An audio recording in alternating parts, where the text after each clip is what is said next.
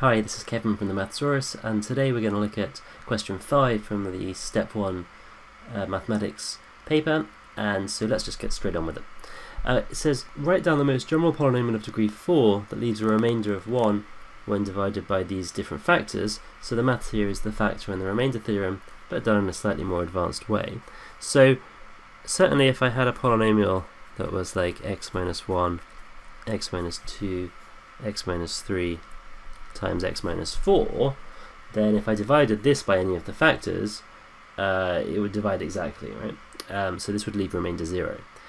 Um, now, this isn't quite the most general thing that leaves remainder 0, because I could also multiply it by a constant, and still leave remainder 0. So if I want to leave remainder 1 instead, I just need to add 1 to this, and I get the answer to the first part uh, of the question here. Okay. Right, so first part really here is meant to be something you can just write down straight away if you're fluent in that theory. Okay, uh, part two says, okay, uh, now the polynomial p of x has degree n greater than or equal to 1, and has p of 1 is p of 2, all the way up to p of n is 1. So this is actually saying something very similar to the first part, right? You know, p of 1 equal to 1 by the remainder theorem is the same thing as saying if it's divisible by so if it's if it's divided by x minus one, it leaves a remainder of one. So it's now saying okay, you know instead of um, you know instead instead of uh, just uh, going up to four here, this polynomial p of x is uh, going to have x minus one, x minus two, all the way up to x minus capital N plus one. Okay, and it says show that p of n plus 1 is not equal to 1. So if I took uh, capital N plus 1 here and substituted it in, okay, so I've still got the k, of course. If I put n plus 1 in here, I get n plus 1 minus 1. So this is k times n, uh, and then this is going to be uh, n minus 1, etc.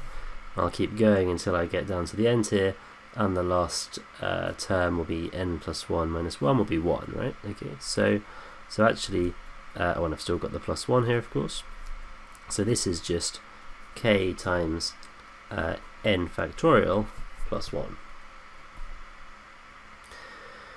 So, uh, why does that mean that p of n plus 1 is not equal to 1? Well, um, it must be that k times n factorial is is not 0. Uh, now, uh, why is that? Well, um, okay, actually, I suppose here if this polynomial has degree n, um, it must also be here that k is not equal to 0. Okay. Um, if k was 0, then this would just be the constant 1. So k is not 0, and of course n is not 0 because n is greater than or equal to 1. Okay, so k and n are both not 0. Okay, so it must be that k n factorial is not 0, and so k n factorial plus 1 can't be equal to 1 then and that was exactly what we've just said is pn plus 1. Right, the next part, it says, given now that p uh, n plus 1 equals 2, uh, find a p n plus r where r is a positive integer. And we'll carry on to the second part in a second. Okay, so if n plus 1 is 2, well, same thing uh, we've, we've got here. So pm plus 1 is still given by this formula, so we'd have to have that uh, k times n factorial plus 1 is equal to 2, right? So k n factorial is 1, so that constant k must be 1 over n factorial. Uh, so we'd have then that p uh, of n plus r, well the constant in, in, in here is in the front here is going to be 1 over n factorial and then my first term here is going to be n plus r minus 1 and then n plus r minus 2 okay and then I will do dot dot dot until I get to the last term and that's going to be n plus r minus r sorry minus n sorry which just gets me down to r. You could write this with uh, factorial notation if you want to um, so uh, so that's that okay um, I mean, in fact, maybe it's slightly more precise to write this as uh, using factorial notation. So I've got 1 over n factorial, and the thing on the top here would be something like uh, n plus r minus 1 factorial divided by r minus 1 factorial. Uh, and in fact, when you do that, uh, you could also say that that's equivalent to uh, n choose r minus 1 as well, which is um, uh, a nice efficient notation here to express that neatly. Okay. Um, I suspect if you if you get this far, you're going to get um, all of the marks, or at least most of them. Um, so, uh, so that's that. Now it says find a positive integer r independent of n, such that p n plus r equals n plus r. Okay, so uh, so I'm going to stick just with uh, this notation here. So p of n plus r equals n plus r, that then would imply that, okay, 1 over n factorial times n plus r minus 1, n plus r minus 2, all the way up to r. Um, oh, I've missed out uh, the plus 1 in this as well, haven't I? So actually, um, so actually there's a plus 1 throughout here as well. So actually I would get, I'd get a plus 1 in here as well. Okay, so uh, so I have to have all of that plus 1 is equal to n plus r and so I could subtract the 1 from both sides here and then I could also divide through by n plus r minus 1 on both sides so we can get rid of this factor and I'd just be left with 1 on this side. Of course you should write this out as several steps in a in a real uh, uh, exam situation. Um, and now I look at this and say, okay, let's multiply through by the n factorial as well. So I've got n minus n plus r minus 2, then you know, the next one will be n plus r minus 3, etc., all the way down to r has to be equal to n factorial. And you can kind of just eyeball this and say, okay, is there a value of r that is going to make this work? Well, okay, this looks like a product of, you know, a similar number of terms that n factorial has in it. Um, if I tried to make the first, if I, so if I thought of n factorial as just n times n minus 1, etc., all the way down to 1.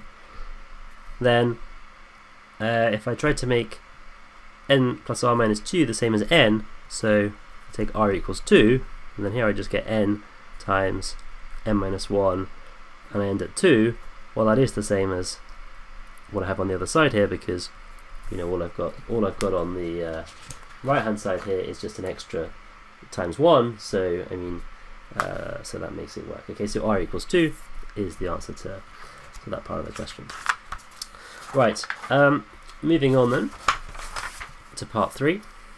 Uh, so it says uh, we've got a polynomial here of degree 4 and the integer coefficients and the coefficients, uh, sorry, it has integer coefficients and its x to the 4 coefficient is 1 and it satisfies this thing S of A is S of B is S of C is S of D is 2001. So we've got something pretty similar to the first part of the question. Um, so this polynomial S of X, it must be equal to uh, X minus A times X minus B times X minus C times X minus D plus 2001. And because we're told the uh, x to the 4 coefficient is 1, I don't have to worry about a constant in front of it. Um, and you know we're just basically applying the remainder theorem again, but with 2001 instead of 1 this time. Okay, and uh, these A, B, C, and D are all distinct, but not necessarily positive integers. That's a key hint for this question there. Uh, and uh, they're not necessarily positive, I mean, is, is a key hint. Um, distinct is just a very important part of the question. Um, so show there is no integer e such that s of e equals 2018. Right, well, okay, so let's just see what happens if I put in uh, s of e equals 2018. So I'd have e minus a, e minus b, e minus c, e minus d plus 2001 equals 2018. So again, if I subtract the 2001 from each side here, I'm just going to get equals 17 instead. Right, so so this problem now just jumped into a totally different sort of maths, right? This is now about uh, factors of 17, right? Because um, if A, B, C, and D and E are all integers, then I've got four integers on the left here, and A, B, C, and D means they're distinct. It's basically saying, can I write 17 as a product of four distinct integers, right?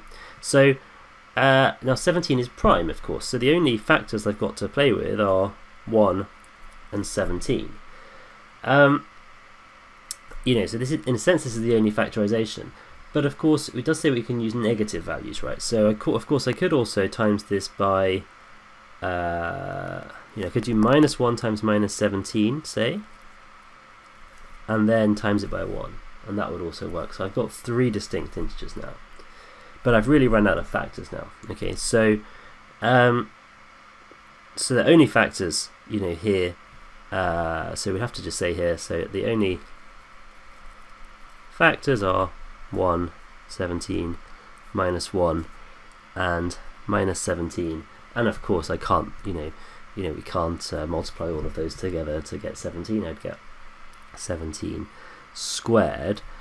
Um, so, uh, so this one's not. So this one's not possible. You probably you might want to write this out a little, uh, a little more than I'm doing because I'm also speaking the answer. Okay. Um, now in part B it says find the number of ways this the distinct integers a, b, and c, c and d can be chosen such that s of 0 equals 2017 and a is less than b is less than c is less than d. Okay, so s of 0 uh, would be 0 minus a, 0 minus b, etc. So I'm just going to end up with uh, a, b, c, d uh, plus 2001. And that's going to, in this part, have to be equal to 2017. So that means I'm going to get A, B, C, D equals 2000 and sorry, just 16, subtracting the 2001. Now, factors of 16, okay, uh, we can think about now. Obviously 16 is a power of 2, so the only factors we've got are, I'm going to I'm to say plus or minus 1, plus or minus 2, plus or minus 4, plus or minus 8, plus or minus 16. Okay. Um, so effectively, you know, by the argument in part A here, um, you know, no combinations exist for distinct A, B, C, and D, where they're all different, uh, including 16, right? Because, again, I'd have this, I'd just have exactly the same problem, right? I'd have to do you know, I've got 16 and the only things I can multiply them by are 1 or minus 1 so I can do 16 times 1 times minus 1 and then I'm stuck, right? I mean, I, so I'm not going to make it.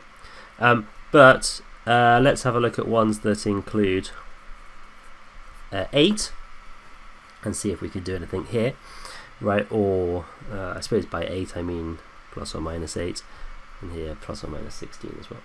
So, um, so I could do 8 times 2 times 1 times 1 in some sense if I can sort some minuses out. So I'm going to have to make one of these ones minus, otherwise they're not going to be distinct. Um, and then I've got a choice, I can either make the 8 minus or the 2 minus, right? So I've got 8 times 2 times minus 1 times 1, or I've got 8 times minus 2 times minus 1 times 1. And that gives me two possibilities there. Um, possibilities that include, uh, okay, so so now things that um, don't, I suppose here uh, don't include the eight. Okay, so uh, so not including the eight plus or minus eight or, or plus or minus sixteen. Uh, we could do uh, well. I've got I could do four times four times one times one with some plus or minuses in it. So I'd have to make one of the fours a minus and one of the ones a minus, and actually we can see that's the only way we can do that if we want those to be distinct. Um, I could also do 4 times 2 times 2 times 1 in some combination.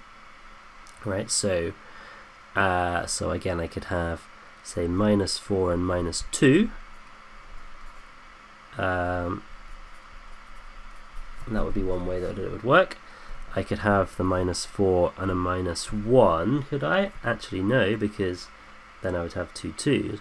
So actually, you know, one of the twos here really has to be has to be a minus.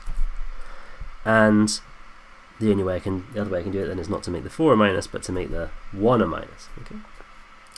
And then we can see there's no other ways of doing it. You know, we can't, uh, you know, 2 times 2 times 2 times 1 is, is clearly not possible because, you know, I'd have to have, uh, again, you know, if I put a minus on one of the 2's, I've still got 2 plus 2's, so, so we can't do that.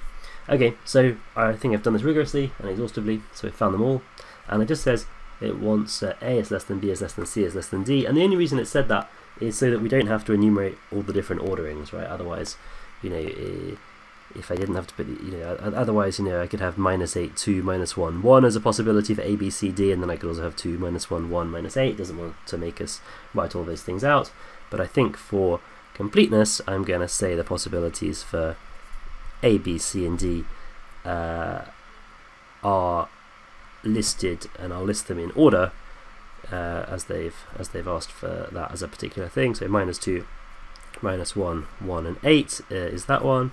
Uh, this one here is minus one, sorry, minus eight, uh, minus one, one, and two. So this is A, B, C, D. This one is minus four, minus one, one, four. Um, this one is minus four, uh, minus two, 1, 2, and this one is minus 2, minus 1, 2, and 4. So there we go, we're done. So kind of interesting question. Question that starts off looking like it's something to do with algebra and actually uh, turns out to be more to do with number theory towards the end. This is what we get in STEP, you know, they're looking for a mastery of the techniques of A level, but also of your creativity and problem solving as you go about the problems. So I hope that was useful. Please do like the video and subscribe to the channel and I'll put all these in a playlist so uh, you can see them all in a convenient place and I will see you in the next video.